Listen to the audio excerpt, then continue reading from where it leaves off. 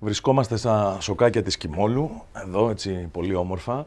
Βρισκόμαστε εδώ πέρα για το πρώτο διεθνές ε, κινηματογραφικό φεστιβάλ της Κιμόλου.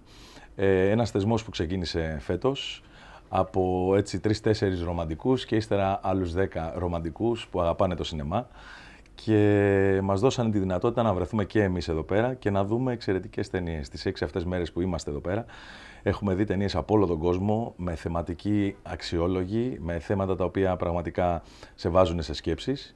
Ε, είναι τόσο όμορφα, ξέρεις, να κάθεσαι έξω στην πλατεία του χωριού εδώ, στην Κίμολο και να βλέπεις τέτοιες ταινίες.